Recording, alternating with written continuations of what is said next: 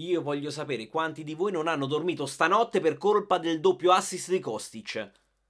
È vero, l'abbiamo visto ieri sera in live. Quanti di voi hanno rosicato per quell'assist? Quanti invece hanno gioito? Canta consigli per la venticinquesima giornata. Allora, voi potete capire che per un fanta youtuber come me, che lo sapete, sono romanista, cerco sempre di essere obiettivo, ma molto spesso non ci riesco, soprattutto in questa giornata, dopo la chiusura della ventiquattresima giornata di ieri, dove la Roma è scomparsa, la Juventus è risorta e c'è Roma Juve tenterò ad essere più obiettivo possibile di non farmi prendere dall'emotività, speriamo di riuscirci. Allora, allora, allora, giornata molto interessante, ci sono partite molto difficili da analizzare. Prima di iniziare, ovviamente, vi ricordo di scaricare l'app di OneFootball, dal link qui sotto in descrizione, che parla di calcio a 360 gradi con tante kick. Perché 360 gradi? 360 gradi dovrebbe essere così, non così. Non lo so perché, con tante kick, tante curiosità, le informazioni e le informazioni, personalizzabili al 100%, perché lo sapete, potete inserire nella stellina dei preferiti, eh tutta quanta la vostra fantarosa e restare così aggiornati in tempo reale sulle statistiche dei vostri giocatori della vostra fantarosa e quindi la mattina andate in bagno, aprite l'app di OneFootball, non guardate tutte quante le notizie dell'universo, guardate soltanto le notizie che vi interessano e pensate quant'è godurioso la mattina quando hai quei 10 minuti di cacca da fare, non dover scorrere le notizie ma sapere proprio dove andare a pescare. Avete un giornale praticamente fatto su misura per voi, la scaricate gratuitamente dal link qui sotto in descrizione che è un modo molto carino di supportare questo canale cioè vi faccio capire. Arnautovic, no? Non dovete andare fa Arnautovic, pure cercare su Google Arnautovic. Voi aprite OneFootball e guardate un Pelagio, Arnautovic, come lo schiero, subito in tempo reale. Ve la scaricate gratuitamente, supportare questo canale, come un modo molto carino, qua ciccia l'asino, di, su- di supportare questo canale quello di acquistare le magliette da calciostore24.com, il negozio online di magliette sportive più belle ed economiche del web, perché ora sto eh, gongolando perché perché questa settimana ho deciso nella live di venerdì ore 19.30 di regalare agli abbonati gentilmente offerta da calciostore24.com la maglietta della Juventus. Ed eccoci qua prima di Roma Juventus a mo' di scaramanzia ovviamente per tutti quanti gli abbonati. Dice ma io non voglio la maglia della Juventus. È così il canale è così. Ma perché non mi regala il piumino? E perché no? Perché non mi regala la maglia dell'Air Jordan? Perché no? Mi regala la maglietta della Juventus. Ovviamente se Qualora la voleste invece acquistare, la potete acquistare da calciostar24.com a meno di 30 euro e se inserite il codice sconto LC avrete un ulteriore sconto del 10% sul prezzo d'acquisto già basso. Non c'è solo la maglietta di mezzo, sono tutte le magliette della stratosfera. Ci sono magliette anche molto belle, le special edition. Soprattutto vi ricordo la maglietta storica, quella del Spider-Man del Paris Saint Germain che è andata a ruba. Praticamente avete comprato tutti solo quella. E quella veramente è bellissima. E vabbè, questa insomma la mette in palio venerdì sera per gli abbonati. Ora qua sotto i commenti, ah, voglia mai a Juventus. È così, ragazzi, perché c'è Roma Juventus. Vabbè, dai. Che devo dire? Ah, poi, ovviamente la maglietta è solo per gli abbonati, quindi abbonatevi e tutti quelli abbonati si disabbonano, no? Perché se la vincete potete anche dire non la voglio, oppure potete dire ne voglio due. Vabbè, abbonatevi solo 99 centesimi al mese per entrare nel magico mondo della chat Telegram dedicata agli abbonati, dove questa settimana, ragazzi, andrò a postare, come richiesto appunto da voi abbonati, eh, i risultati esatti delle partite per fare quel giochino che ho fatto questa settimana di scommettere i risultati esatti campionati dove basta che ne prendi uno e non perdi. Se ne prendi due vinci, se ne prendi dieci sbanchi. E andremo a vedere un pochino se funziona questo gioco. E, e poi questa settimana ci vado anche a postare la regola del 72 per tutte quante le formazioni perché non ho fatto in tempo, visto che hanno chiuso le, le, le, le partite ieri, la giornata si è chiusa ieri, oggi ho dovuto fare lo studio ogni giornata, non sono riuscito a fare proprio tutte quante le grafiche. Però la regola del 72 ci sono riuscito a farla. Ed eccoci qua, eccola qua, iniziamo gentilmente offerta da astafantacalcio.net, lo sapete. Allora il mio miglior portiere del mese è Skorupski, fanta media del 6,38 nel, nelle ultime 4 partite, eh, ha giocato veramente bene, ma come lui tutto quanto il Bologna, seguito da Tatarusano, Meret del Napoli e poi Onana dell'Inter, Sepe, Falcone, Provedel di Gregorio, Scesni e Consigli. E è scomparso Rui Patrizio per Bacco, difensore, il migliore Spinazzola della Roma, fanta media del 9, è tornato, grande spina, lo spina dell'Europeo, poi Bremer della Juventus, vedete che avevo detto, gente che voleva vendere Bremer, prendetelo Bremer. Fate come me che l'ho presa a ricosta Bremer, visto quello che è successo. Baschirotto del Lecce, ancora un altro dei miei cantaconsigli d'agosto. Fantamè il 7.38 che questa giornata non ci sarà, vi ricordo è squalificato. Danilo della Juventus, Valeri, Biraghi, Posh, Singo, Udoci e Bijol. Centrocampisti, il migliore ancora Varaschelia del Napoli, 9.75, seguito da Orsolini del Bologna, che vi dico schieratelo sempre, anche questa giornata ho detto schieratelo, ma con l'Inter schieratelo, infatti visto. Poi Messias del Milan, Kostic, Pereira, Rabiot, Vignato, Castanos, Soriano e Candreva. E poi gli attaccanti, quelli che poi alla fine ci fanno vincere i fantacalcio. Oggi c'ho sto gesto qua, non si sa perché. Non so, di Giuca Scasella, chi è? Osimen del Napoli, Fantamene del 1088, seguito da Anzola dello Spezia, Cambiaghi dell'Empoli, Caparal della Fiorentina, Di Bala, Di Maria, Sajou, Vlaovic, Sise e a chiudere Caramo del Torino. Io sono molto contento di questa cosa perché come vedete molti dei miei consigli, delle mie sorprese di agosto stanno in queste classifiche, come ad esempio appunto Baschirotto, come ad esempio Rabiot e come ad esempio Balanzola e ne sono molto contento. Quest'anno i cantaconsigli sono andati veramente veramente bene. E allora andiamo a vedere in base a questi cantaconsigli gli abbonati cosa hanno fatto nel Fanta Abbonati la ciurma del Canta. Ed eccoci qua, chi ha vinto questa giornata? L'ha vinta Cosimo Santos con Acer, si può fare pubblicità, non lo so, Acer, no, non credo sia Acer, sia quelli dei computer, eh, che ha fatto 80.50 di punteggio, 80 tanto punteggio in questa giornata molto strana, seguito da Sviluppini, PS2, Endo, PSV Endovena, benissimo, e via via fino ad arrivare a Piemonte Calcio 72 fantamedi, io non sono arrivato a 66, infatti ne va a giovare la classifica generale dove perdo un punto, vado 17 e continua a dominare il Chito 98 con Baschi Rotto Team con 1255.50 punti, mi ha dato praticamente più di 60 punti. Complimenti a El Quito. Andiamo ad iniziare a guardare le partite di questa giornata ed iniziamo da Napoli-Lazio. Allora, guardando i dati delle due squadre, eh, sinceramente non ciccia fuori il, il gol. Dici, il Napoli è uno schiacciasassi, la Lazio non vive il suo momento di forma più esaltante e in più mancherà sicuramente Casale squalificato e Romagnoli non sappiamo. Oggi, oggi così Romagnoli non sappiamo se c'è quindi partita da 18 a 0 mm.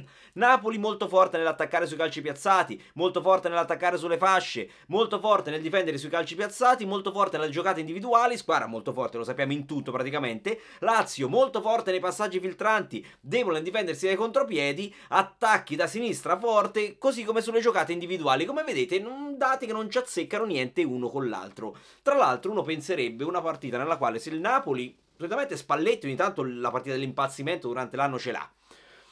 Con la Lazio un pareggio, dici va tranquillissimo, più, più 100.000 chi se ne frega. La Lazio un bel pareggio col Napoli, chi se ne frega, partita che va tendenzialmente verso il pareggio, se non che il Napoli non lascia proprio niente agli altri, vuole proprio distruggere il campionato e quindi attenzione, ho messo come giocatore più rappresentativo del Napoli Meret, ho messo.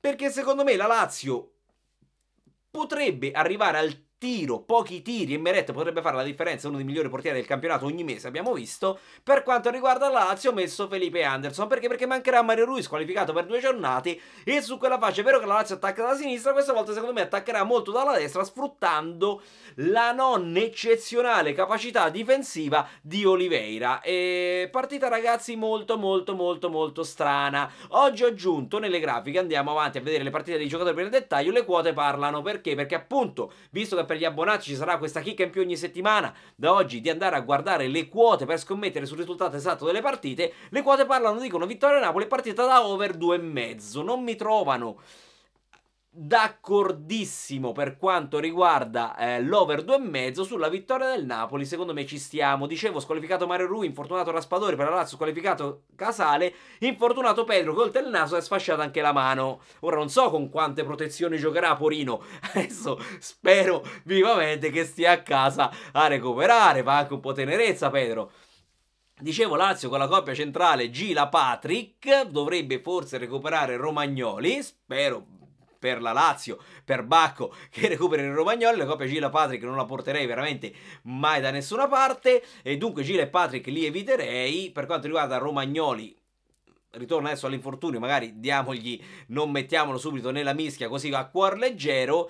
Eh, la Lazio abbiamo visto che è debole nel difendersi dai contropiedi. Quello che penso io è che se la Lazio, a cui Basta un pareggio, un pareggio olio che, oro che cola veramente a Napoli, prende gol in contropiede, veramente ci sarebbe da chiedersi qualcosina per quanto riguarda Sarri. Ovviamente se poi il Napoli passa in vantaggio e la Lazio deve spingere per forza a trovare il pareggio e poi il gol in contropiede lo può prendere, quindi attenzione invece a questo caso qua. Abbiamo già parlato di Anderson che secondo me è più schierabile di Zaccagni, anche perché se guardiamo la fantamedia di Zaccagni in quest'ultimo mese è 5,67. Non è che abbia fatto benissimo in quest'ultimo mese. Vabbè, per il resto ragazzi ragazzi Napoli schierabile tutto quanto in toto perché il Napoli praticamente parte da mezzo punto in più. Abbiamo visto il 7,5 all'Ubotka di questa, di questa giornata che per Bacco è vero che ha annientato il centrocampo dell'Empoli ma era il centrocampo di riserva non c'erano bandiere non c'erano Hackpack Pro e vi ricordavano che ha preso 7,5 come Messi che ha vinto lo scudetto da solo praticamente nella partita contro il Marsiglia quindi vediamo che un po' che i voti del Napoli quest'anno sono abbastanza, diciamo, farfallini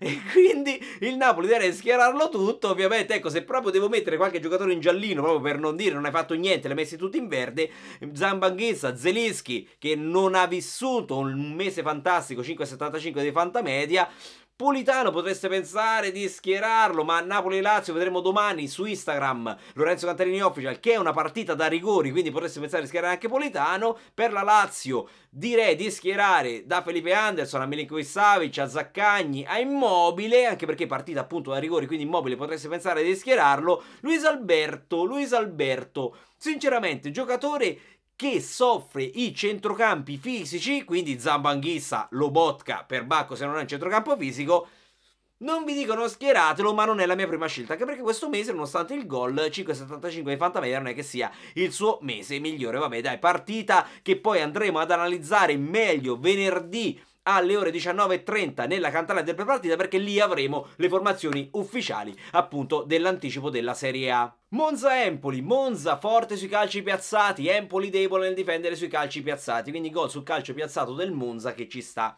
Monza forte nei passaggi filtranti, Empoli che è forte nei calci piazzati, ma le due squadre non sono deboli in questi fondamentali dall'altra parte. Possesso palla che dovrebbe sorridere al Monza, perché l'Empoli non è che sia una squadra da possesso palla.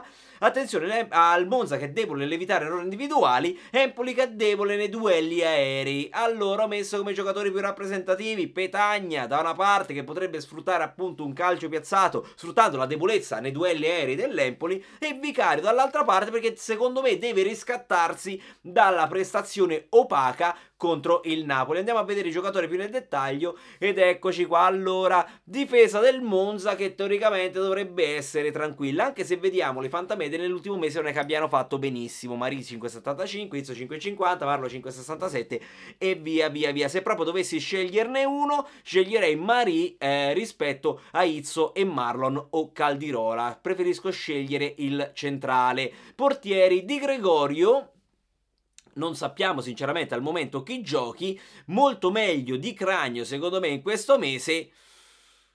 Oddio, se gioca Cragno lo schieriamo, qualche dubbio in più sinceramente ce l'ho.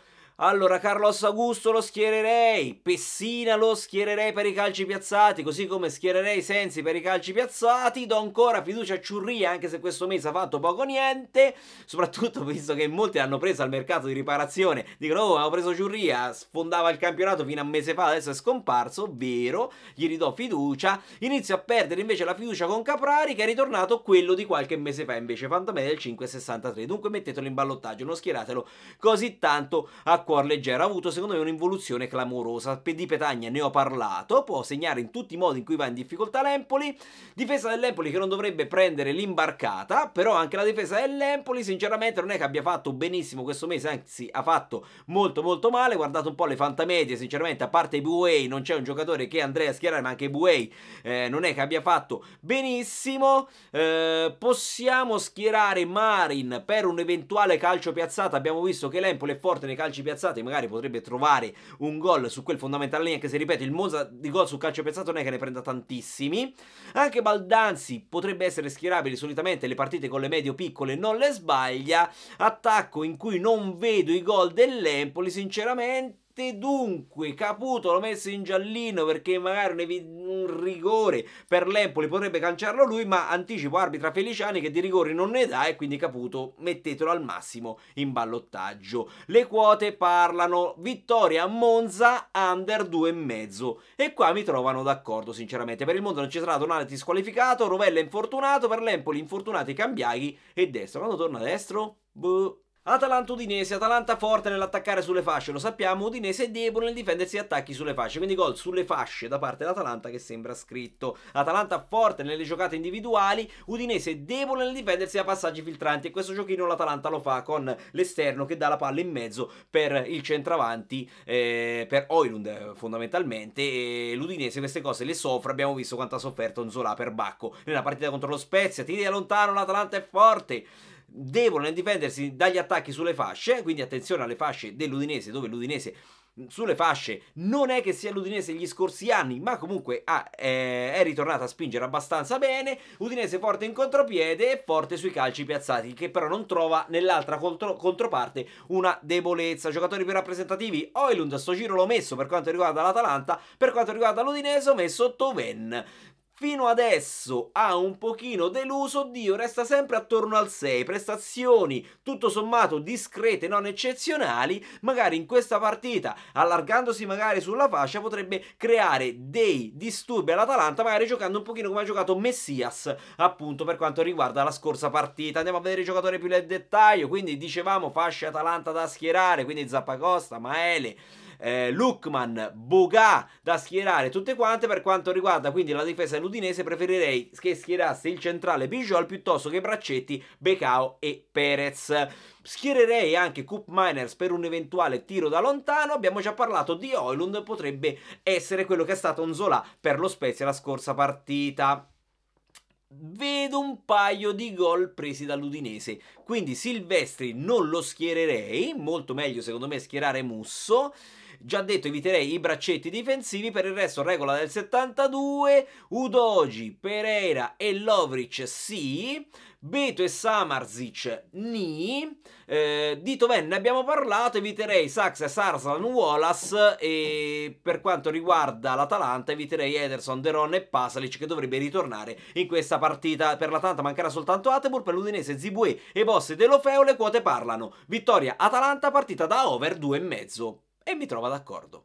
Attenzione a Fiorentina-Milan, che è la partita con più rigori di giornata. Fiorentina debole nel difendersi da attacchi sulle fasce, Milan forte per quanto riguarda gli attacchi sulle fasce, Fiorentina debole nell'evitare errori individuali, Milan forte nelle giocate individuali, Fiorentina forte nei calci piazzati, Milan però che è forte nei duelli aerei, Fiorentina che è forte nel difendersi sui calci piazzati, il Milan è debole nel difendersi da attacchi sulle fasce. Dunque viene fuori 1-0 a 2 Milan, ma appunto attenzione ai rigori in questa partita che potrebbero confermare o ribaltare il risultato. Cheat. Per quanto riguarda i giocatori più rappresentativi ho messo Cabral che è in una forma strepitosa, per quanto riguarda il Milan ho messo Messias, perché? Perché appunto per quanto riguarda gli attacchi sulle fasce in questo momento Messias tanta tanta tanta roba e dall'altra parte non ci sarà Leao. Giocatore più nel dettaglio, Leao infatti come vedete è squalificato al pari di Krunic, per la Fiorentina Milenkovic è in dubbio, più no che sì. Gol del Milan sulle fasce, quindi consigliati Teo Hernandez, consigliato Messias, dunque eviterei Dodò e anche il Super Biraghi, Super 7,5 dal Super Gol da centrocampo.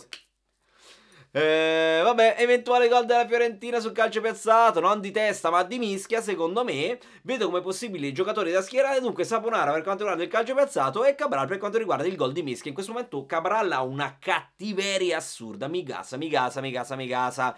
Per quanto riguarda Nico Gonzalez, sarà una partita da rigori, giocatore che in questo mese ha una fantamedia molto brutta per essere un attaccante, schieratelo, ma non come sì, questa giornata Nico Gonzalez, poi gli altri.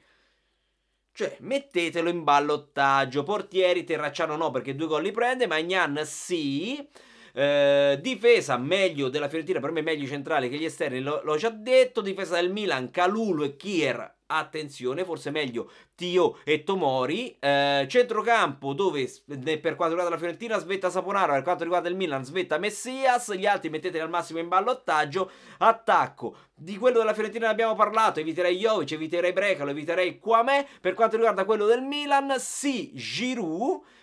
Ni Origi, attenzione a Rebic, che secondo me gioca molto meglio da seconda punta come gioca adesso Leao, appunto essendo il sostituto di Leao Rebic in questa partita rispetto a quando lo gioca esterno sinistro come sostituto di Leao appunto e soprattutto un occhio di riguardo a Ibra perché appunto arbitra di bello, l'arbitro che dà un botto di rigori, l'arbitro che dà più rigori di questa giornata, qualora ci fosse Ibra in campo, qualora ci fosse un rigore per il Milan, secondo voi chi lo calcerebbe?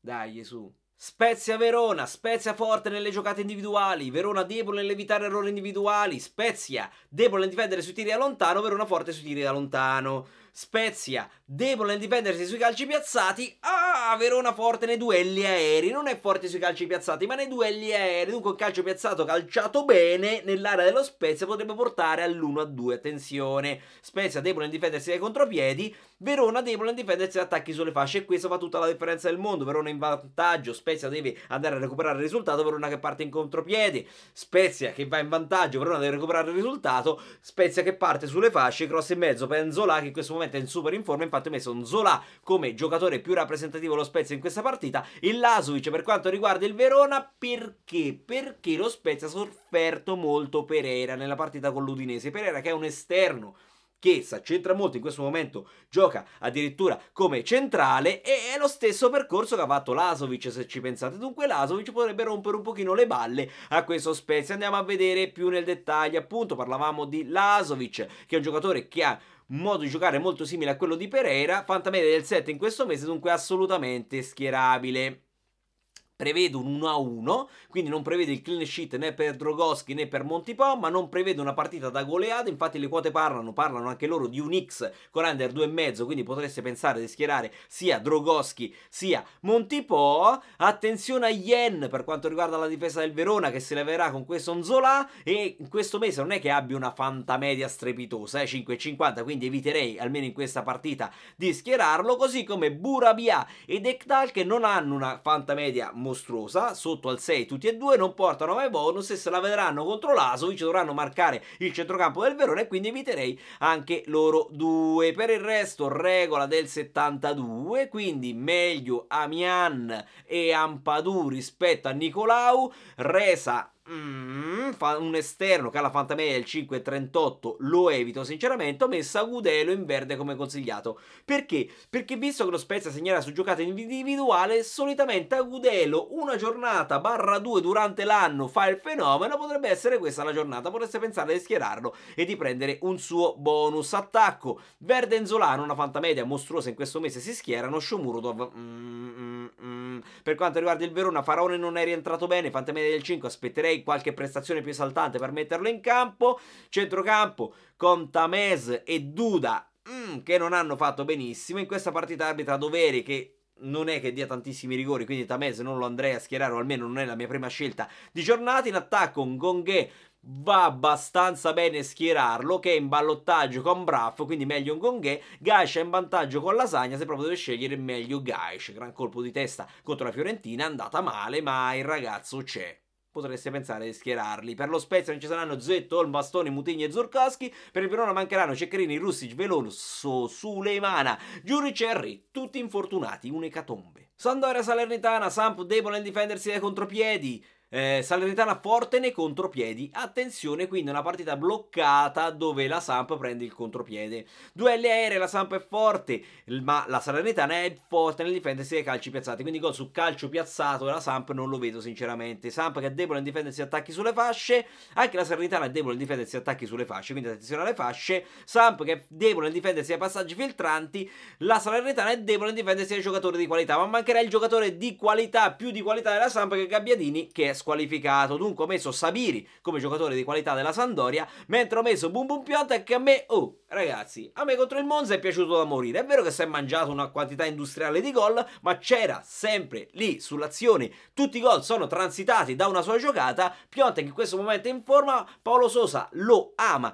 calcisticamente da morire, quindi Piontek potrebbe essere una partita nella quale andrà a fare benissimo. Non ci saranno rigori, arbitra Massa che di rigore non ne dà, ma da un botto di cartellini gialli. Andiamo a vedere i giocatori più nel dettaglio, dicevo non ci sarà Gabbiadini, squalificato, non ci saranno Conti, Muriglio, Günther, Giuricic e Pussetto per la Samp, non ci saranno Fazio e Trost e Kong per la Salernitana. Le quote parlano vittoria Samp under 2,5. Mm non sono d'accordo. Sono d'accordo sull'under 2,5, ma vedo più una vittoria della Salernitana che sinceramente nell'ultima partita mi ha convinto. Dunque, vedo il clean sheet per il portiere della Salernitana, poi chi sarà Bull, lo andremo a vedere nella live del pre-partita dove avremo delle notizie più eh, sicure. Di là Odero secondo me un gol lo prende, quindi al massimo mettetelo in ballottaggio. Comunque sia la Samp che deve fare la partita, ve l'ho detto, quindi contropiede Salernitana ci può stare. Bene Bum Bum Piontek, bene Dia che ritorna e bene Candreva. Per il resto regola del 72, do fiducia a Sabiri per la giocata di qualità. Eh, difesa dove Augello ha fatto discretamente bene questo mese, così come Zanoli, non posso dire lo stesso di Newitink, Amione e Murru, centrocampo dove Winks ha fatto benino ma Bonus ne porta pochi, qui Sanz ha fatto male e Bonus ne porta pochi anche lui, Rincon non porta niente, ha fatto pure peggio, quindi eviterei Rincon assolutamente, Leri, Fantamedia del 6-17 in questo mese, mm, attacco che non andrei a schierare alla Samp perché manca sinceramente il migliore che è Gabbiadini. La domanda che mi chiedo io, il Montevago della sosta campionato che segnava tre gol amichevole, che fine ha fatto? Salernitana, la difesa non dovrebbe subire grandissimi rischi, ma non è che abbia retto benissimo in questo mese, quindi al massimo mettetele in ballottaggio. Mazzocchi era entrato discretamente bene, 6,5, potreste pensare di schierarlo, così come Candreva, in questo mese molto bene 7,38 di fantamedia, molto bene così anche Koulibaly 6,75, Cernigoi si è conquistato il posto a titolare, giocatore che tira molto dalla distanza, ma la Sampo non prende gol dalla distanza, ci pago, me l'ha presa Luis Alberto la scorsa settimana, vero, ma solitamente non ne prende gol dalla distanza eh, e ne prende tutte le domeniche la bomba da 80 metri. Su ultime parole famose poi ne parleremo eh, prossimo, nel prossimo video. Nicolusi Caviglia e Vigliera li eviterei. Eh, per il resto in attacco Piontek sì, Bonazzo, eh, Ni e Dia sì. Inter-Lecce partita rognosissima perché l'Inter non è che sia in formissima se non che dopo la sconfitta col Bologna ovviamente deve avere una reazione forte e dall'altra parte troviamo un Lecce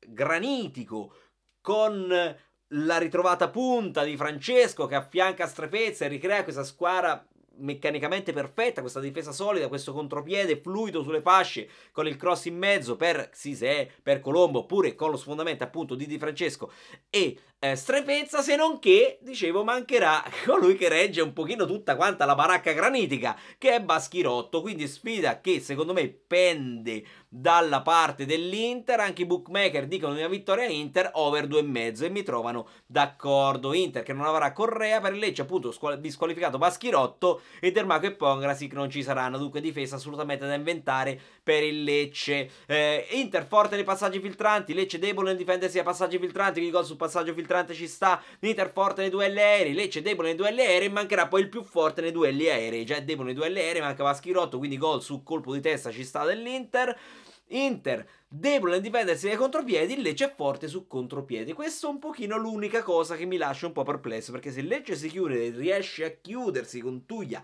e un TT e poi parte in contropiede con Di Francesco e Strefezza, può far male all'Inter.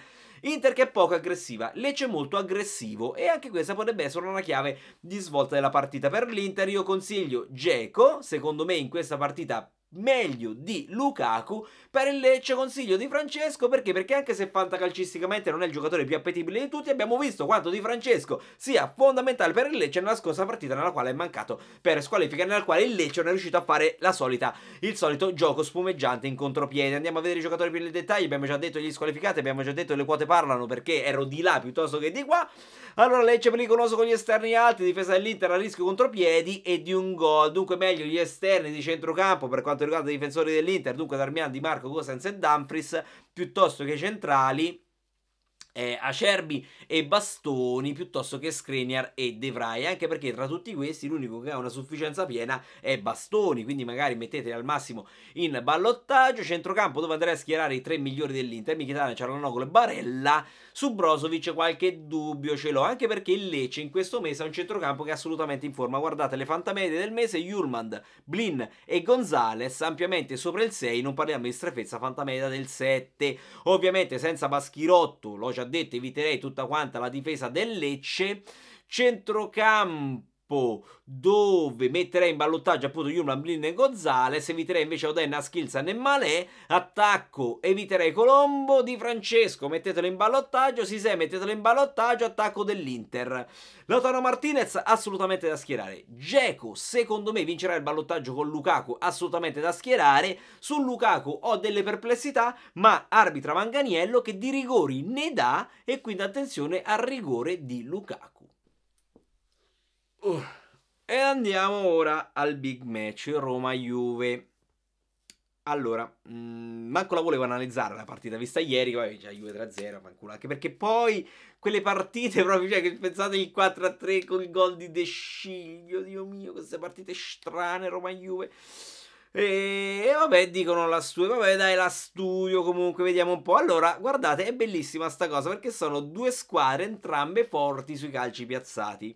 Entrambe forti sui tiri da lontano. Entrambe molto forti nel difendersi sui calci piazzati. Entrambe due squadre che peccano in aggressività. Sono due squadre praticamente, per quanto riguarda la conformazione eh, delle due rose, simili. Molto, molto, molto, molto simili. Infatti, ho messo come due giocatori rappresentati rappresentativi Smalling e Bremer per farvi capire un pochino come secondo me andrà la sfida. Andiamo a vedere cosa dicono i bookmaker, le quote parlano. La Roma è leggermente favorita in questa partita e la partita è da under 2,5. Io pensavo il 3-0 Juve e invece e invece tutto porta 1-0 0 barra massimo proprio 1 1 o 0 1 o 1 0.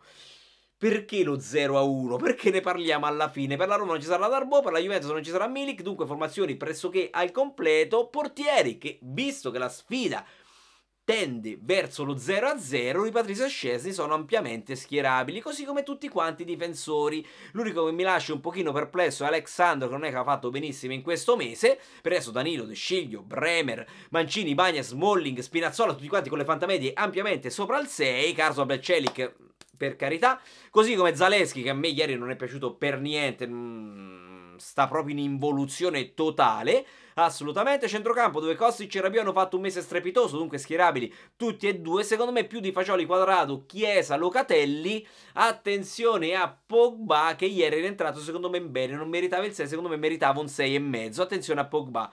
Eh, centrocampo alla Roma dove Matic, Pellegrini e Wijnaldum, anche secondo me Wijnaldum ieri è entrato benissimo, tra l'altro Bellissima la cosa che durante la telecronaca eh, di Cremonese Roma Wijnaldum è stato anche ampiamente ehm, diciamo descritto dai telecronisti come Wijnaldum che era entrato alla grandissima prestazione sontuosa di Wijnaldum migliore in campo dopo Spinazzola mi trovo il 5,5 come Radonic voti a cazzo, settimana voti a cazzo, voti buttati proprio a cazzo secondo me.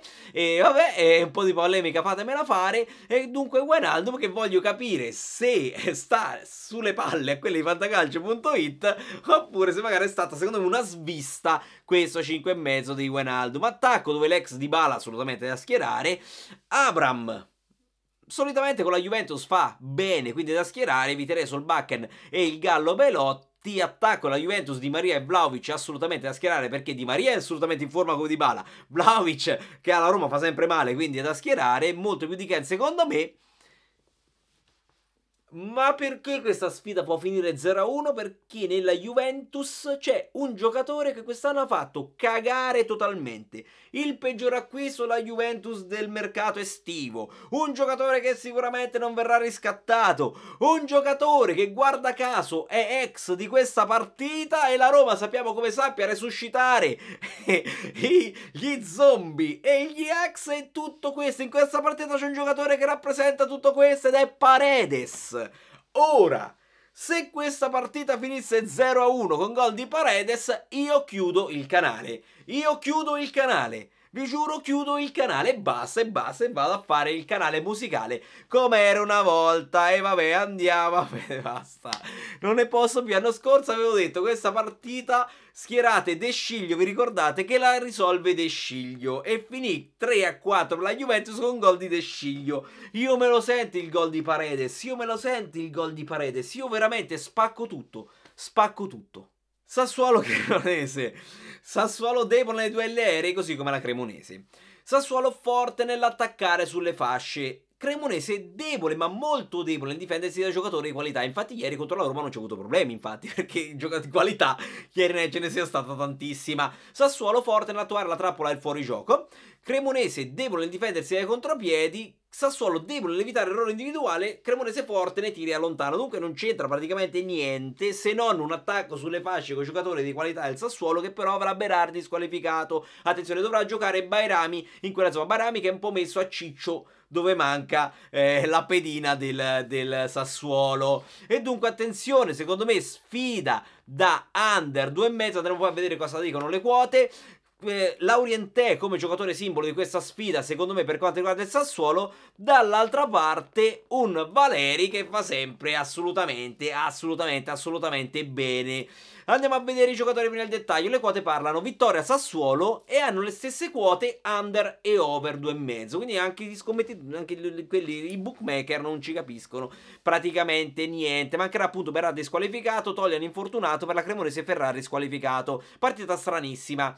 Il Sassuolo è favorito da bookmaker, come, come già detto, ma quanti gol? Che tipo di partita? Non lo sa nessuno. L'unico gol che mi esce a me appunto è quello dalle fasce del Sassuolo, dove Barami da un lato e il Laurenti dall'altro potrebbero avere la meglio su Vasquez e Aivu. Quindi consigliati Bairami e Laurenti e sconsigliati Vasquez e Aivu. Sono curioso tra l'altro di vedere eh, Bairami dal lato di Berardi. Per il resto mi baso, eh, mi baso, eh, sto intrecciando con la saliva, aspettate con la regola del 72 sui portieri.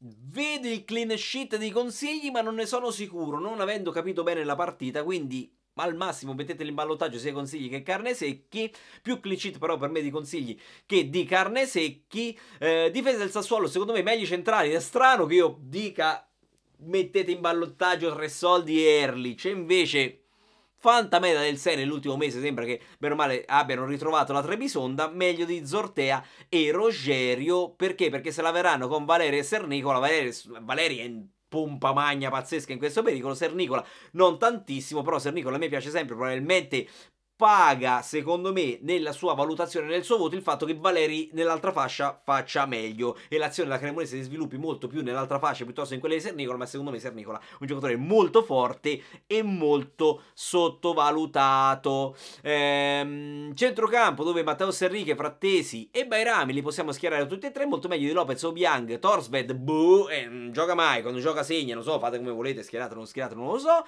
In attacco molto meglio la rente secondo me di De Frelle e Pinamonti che io non andrei a schierare anche perché questo mese hanno fatto abbastanza cagare entrambi. Centrocampo della Cremonese molto fisico con Ballardini che non porta bonus. Attenzione a Benassi, l'unico che vi dico mettete in ballottaggio, dovrebbe partire titolare. In attacco Sagiù sta vivendo un momento di assoluta illuminazione divina, quindi potreste pensare di schierarlo, non so in quanti di voi ce l'hanno, ma potreste pensare di schierarlo. Ciofani, Ni, partita da rigori, no, arbitra Furno, quindi non lo so. Felix ieri non è che mi sia piaciuto tantissimo, secondo me è meglio da schierare Okereke, ma anche Okereke ieri non è che mi abbia impressionato al massimo, mettetelo in ballottaggio.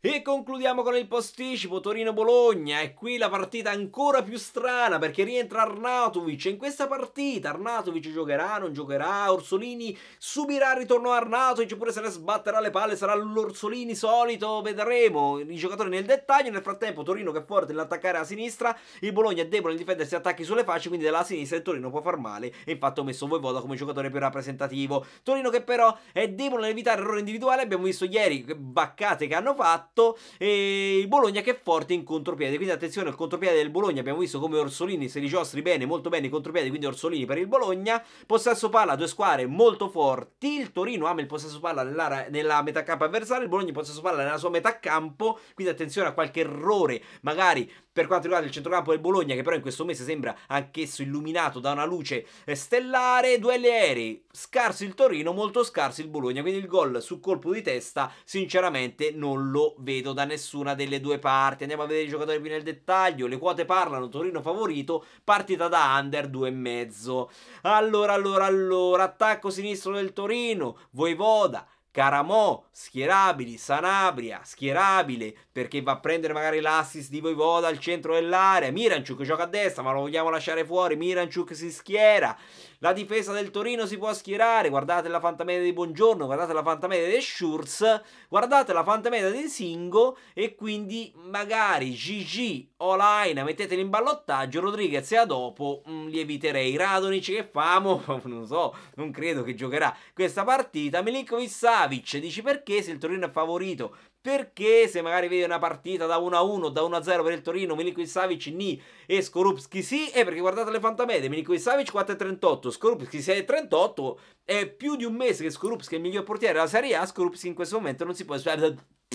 Skorupski in questo momento non si può lasciare in panchina. Per quanto riguarda il Bologna, difesa, Poscia assolutamente sì da schierare 7,25 di fantamedia. Per quanto riguarda il resto della difesa, è strano vedere come il Bologna, che sia una delle formazioni migliori della Serie A dell'ultimo mese, abbia una difesa che non riesce a raggiungere il 6. Soltanto in Posh supera il 6, ampiamente supera il 6, il resto non nessuno supera il 6. Centrocampo dove Orsolini assolutamente da schierare, Soriano da schierare che si sta piano piano riprendendo, Scouten, Ferguson e Dominguez metteteli al massimo in ballottaggio, possono portarvi un mezzo punto in più magari utile per fare 72, attacco. Forse torna Arnautovic e forse gioca da prima punta. Ora, Arnautovic lo schieriamo Oppure no, visto che ieri il Torino ha sofferto molto più altri giocatori della Juventus piuttosto che il pennellone davanti, ossia Vlaovic. Boh. Si conclude qui questo video su Canta Consigli per la 25esima giornata con il dubbio Arnautovic. Ci vediamo domani su Instagram Lorenzo Cantarini Official con l'analisi degli arbitri completa le statistiche e le curiosità della Serie A e in più la regola del 72 per tutte quante le squadre della Serie A perché oggi non sono riuscito a fare l'analisi dei dati. Poi eh, venerdì la live alle 14.30 su TV Play, Fanta TV Play, venerdì ore 19.30 la canta live del partita qui sul mio canale YouTube e nella chat Telegram i risultati esatti di tutte quante le partite secondo il Canta per andare a fare quel giochino di scommettere una piccola somma in ogni risultato esatto per riuscire a prendere un grosso gruzzolo nel futuro. che cazzo stai dicendo? Nel frattempo, un saluto dal secondo divano più famoso del web se hai capito la battuta, sei uno zozzone. Poi vi ricordo, sabato 25 maggio a Roma, campo Roma 6 Fanta YouTubers Calcio a 5, l'evento più bello dell'universo. What's on the menu? Well, that depends on what you want, we can continue. Oh, it's the same old shit you got, or we can switch it up and get you something worth the wait. Open the kitchen up so we can all participate. What's on the menu?